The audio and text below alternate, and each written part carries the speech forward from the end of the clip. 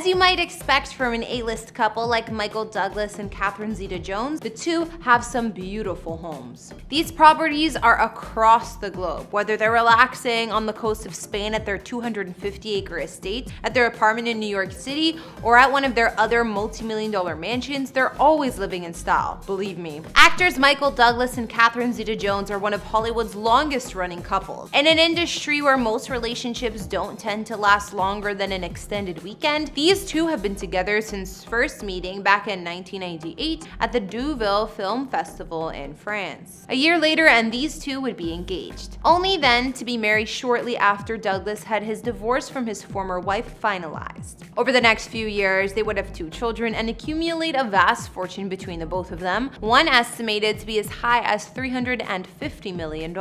They've also amassed an extremely valuable real estate portfolio with homes located all around the globe. For instance, one of the family's most exotic villas is a 250 acre estate on the coast of Spain called S'Estaca, which Michael first bought prior to meeting Catherine in 1990 for $3.5 million. And whenever these two are back in Michael's home of the northeastern United States, they have a couple spectacular places to choose from, including a gigantic apartment directly across the street from Central Park, and an 11,000 square foot mansion in the town of Irvington. Finally, the family also owns a gorgeous vacation home in Bermuda, which you guys are going to go crazy over once you see it. In these videos, we don't reveal any addresses, and even though I've done a house tour of my own place, please do not show up at any private residences because it's not safe for anyone. Hey guys, it's Kara back with another exclusive house tour here on Famous Entertainment, and in this one, we're checking out the luxurious homes of Michael Douglas and Catherine Zeta-Jones. Don't forget to like, subscribe, and hit me up on Instagram to chat. Now let's get into this video.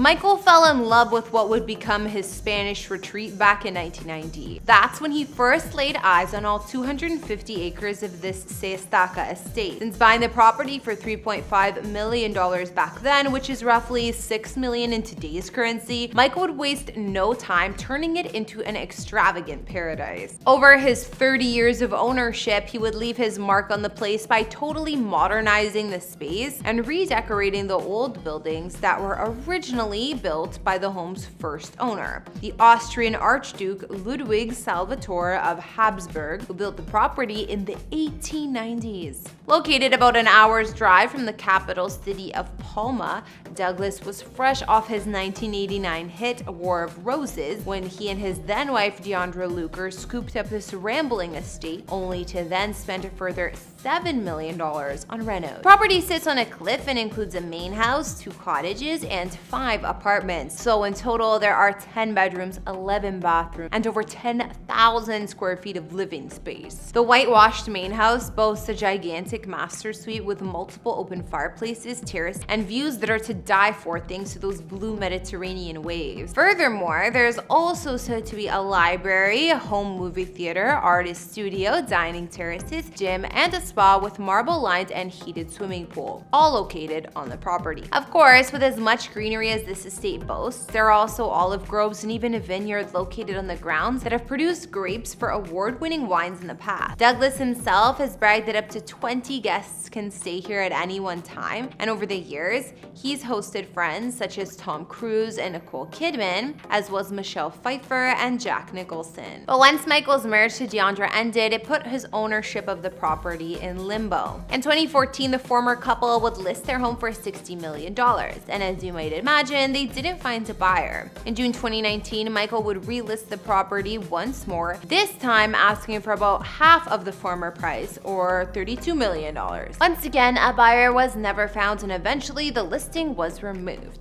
So I guess that Michael and his ex are going to be holding onto this property for a little longer. Another one of Michael and Catherine's properties is this unbelievable home located just across the street from one of the most famous places in the world, Central Park. Located in the historic Central Park West building that was first constructed back in 1908, Michael and Catherine's unit boasts four bedrooms as well as six bathrooms, not to mention those totally unobstructed views of Central Park. Pegged as a quintessential New York City apartment, this home is designed with all types of period details, which includes high ceilings and the grandest of grand rooms including a living room that's drenched in sunlight. Or how about that wood-paneled library with a wood-burning fireplace? Even the main dining room has its very own hearth to warm you up during mealtime and is situated right beside a full-service chef's kitchen. Other impressively decorated rooms include the grand front foyer the cute and cozy breakfast room, and the master suite with its very own sitting area and an ensuite bathroom composed almost entirely out of marble. Outside of those spectacular spaces, there's also a powder room, wet bar with wine storage, as well as staff quarters with full bathroom and laundry services. In 2019, Michael and Catherine would decide to move off of the property, selling it for $21.5 million. Don't worry though, they didn't give up their New York zip code completely though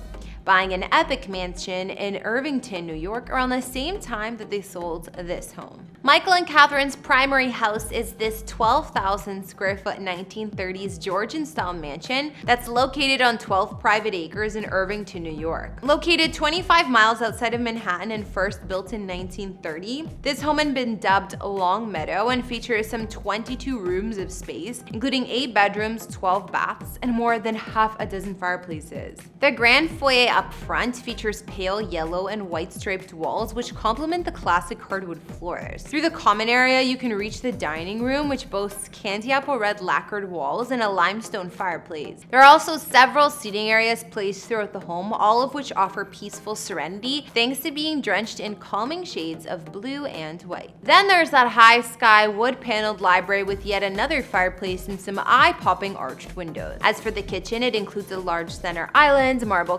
countertops, and of course, chef-worthy appliances. Upstairs, all the guest bedrooms are incredibly spacious, while the master suite has its very own sitting room, dressing room, and a spa-like bathroom with, yes, another fireplace. If all of that's not enough for you, there's also a gym, games room, and an indoor swimming pool located on the premises. And we can't forget the exterior, where there's a massive stone terrace out back with a full-service kitchen, perfect for throwing get-togethers when that New York weather is cooperating. Despite everything this home includes, it somehow only set the couple back around $4 million when they purchased it in 2019. Uh, that being said, it also includes annual taxes that can top $150,000. Finally, we'll take one last look at yet another vacation home that Michael and Catherine frequent, their tropical paradise located on Bermuda Island. Now, Michael's connection with Bermuda goes back a long, long way. His mother, Diana, was a member of one of the oldest and most respected families in the territory, and her ancestors lived on the island back in in the 1600s. Speaking with Architectural Digest, Michael would tell them, I celebrated my first birthday here. There's a real solace in returning to this tiny island where I have so many relatives, probably 70 in one place. To me, Bermuda is a real family spot. The multi-residence compound is located in the island's Warwick Parish and consists of a primary residence, a two-story guest house, a two-bedroom caretaker's cottage,